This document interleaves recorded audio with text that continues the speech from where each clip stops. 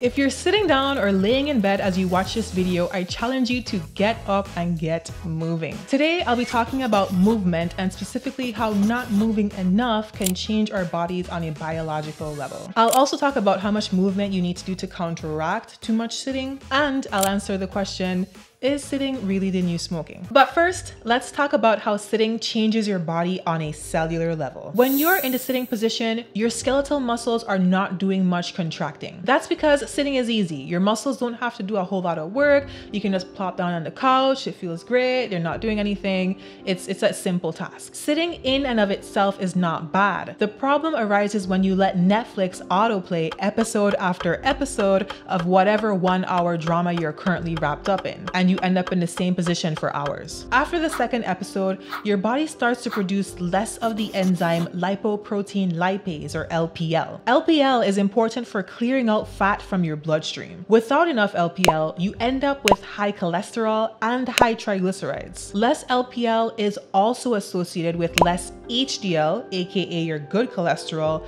and higher blood sugar. Here's a summary of all of the negative outcomes that have been linked to sitting for two or more hours at a time time on a regular basis. Have you gotten up yet? If you work a job where you have to sit at a desk all day, then watching back-to-back -back episodes of your favorite show isn't going to be your only issue. You also have to account for the hours that you're sitting at work too. If you have to commute as well, then that adds even more hours to your daily sitting tally. If you think about it, it's not hard to spend two hours back-to-back -back just sitting. It's kind of a fact of modern life for a lot of us. In terms of the magnitude of the effect, the risk for developing type 2 diabetes in people who sit for hours and hours at a time is doubled while the risk for developing heart disease, cancer, or some other ailment falls between 10 and 20%. Let's talk more about how sitting increases your risk for type 2 diabetes. Sitting is bad for blood sugar control mainly because it affects the way that your body metabolizes carbohydrates or carbs. Let's do a quick sidebar on carbs. Carbs are basically long chains of sugar molecules. Bread, cookies, fruit, potatoes, juice, these are all carbs. When we digest carbs, they get converted into sugar. Now, for our bodies to use that sugar, that sugar must first enter our cells. Sugar doesn't just waltz into our cells though. It needs a special key and a special door. Insulin acts as a key to unlock the door to the cell. As for the door itself, that is called a glucose transporter. Our bodies get prompted to make more doors to the cells or glucose transporters when we move. Exercise, even at low intensity, has been shown to dramatically increase the content of GLUT4 in muscle. So basically, movement or exercise helps our bodies to keep keep blood sugar levels stable. The last side effect that I wanna talk about is bone health. Yes, sitting is bad for your bones. Sedentary behavior is linked to lower bone mineral density. This is a kind of use it or lose it situation. Studies on people who spend long periods of time in space and people confined to the bed by spinal cord injuries tell us that when we are not bearing weight on our bones regularly, they respond by getting less dense. More bone gets resorbed or broken down, which can lead to an increased risk of osteoporosis. Now, I know somebody out there is wondering, okay, yes, sitting is bad. But what if I work out several days a week, but I still have a job where I have to sit for most of the day? Do I still need to worry about all these consequences? You are what researchers would call an active couch potato. And the unfortunate answer is that yes, you most likely will still need to be worried about the effects of sitting. The important thing to remember is that sitting is distinct from exercising. They're not simply two activities that oppose each other. They're two distinct things that you want to make sure that you're doing enough of and not doing too much of. A good way to think about this is the way you think about food, right? So there are certain things you want to make sure you're eating plenty of in your diet and other things that you're not having too much of. So exercise is like eating vegetables you're exercising, you're eating vegetables, that is good for your health. But if you're also eating candy every time you have a salad, you're kind of undoing some of that work. So that's what being sedentary all day can do to you if you're exercising but then spending most of your day seated. And we know all of this thanks to this study. Here, they studied over 4,000 men and women who reported exercising for at least two and a half hours per week and found that the people who sat the longest in front of the TV were most likely to also have a higher waist circumference, high blood pressure, and worse blood sugar control. I will say that this association was correlational and not causative because it wasn't a randomized control trial. But there's still the question, is there an amount of exercise that you could achieve such that the effects of sitting are completely canceled out? Somebody did study that. To counteract the effects of sitting too much on your health, you would need to do 60 to 75 minutes, that's an hour or more,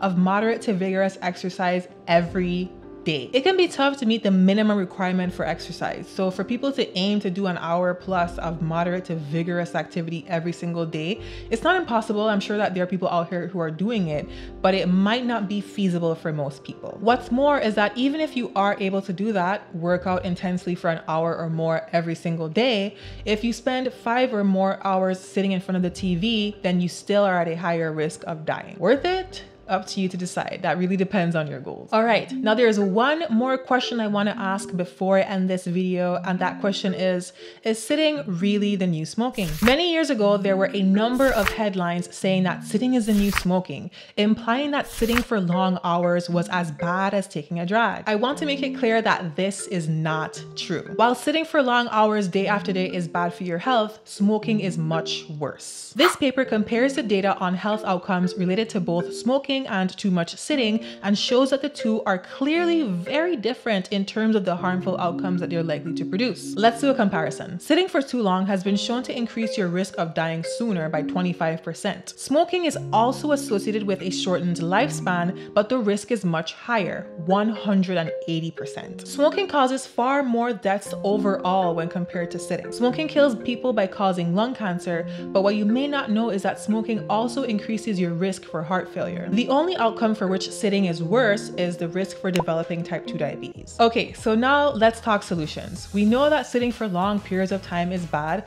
What do we do about it? If you think I'm gonna say to just exercise, you're wrong. I'm not gonna say that because the key here, like I said earlier, is to treat sitting for long periods of time as distinct from exercise. So the thing you wanna focus on is not sitting for hours and hours on end uninterrupted. My main solution for this is don't be afraid to be weird weird. If your job requires you to be seated all day, get up every one or two hours or even every 30 minutes if you can and try to work while standing or take a walk or do some squats. When you're watching TV, take breaks in between episodes and get up and do something. Make it fun. You can compete to see who can do the most jumping jacks or who can do the most push-ups if you live with family or roommates. You can clean or just dance and be free. Research shows that just 5 to 10 minute bites of exercise can have a significant impact on your health. Yes, just 5 five to 10 minutes of this or this or this can be life changing. This number comes from this research paper where the scientists reported that moderate to vigorous activity in small chunks may not give you big biceps, but can still protect against early death. Benefits of bite sized workouts include improved cardiorespiratory fitness, higher levels of good cholesterol and lower levels of bad cholesterol and triglycerides, healthier weight, improved blood pressure, better blood sugar levels, reduced inflammation as measured by C reactive protein or CRP, and a longer life. So all all of those things that you have probably considered doing or are already doing to get more active throughout the day, like taking the stairs or choosing to park in a space that's far from the grocery store entrance or get a standing desk, all of those things are actually worthwhile. And that's good news, right? That you don't need to run a marathon every day. You don't even need to do 30 straight minutes of exercise every day to see some benefit on your health. You can do your workouts in little chunks by interrupting sitting for long periods of time with some movements. And something tells me, and this is not based on any research, this is just my own impression here, that that can contribute to more happiness as well. Because just moving, taking a break to step away from things can help to lift your spirits as well. And that brings me to the end of today's video. Take care.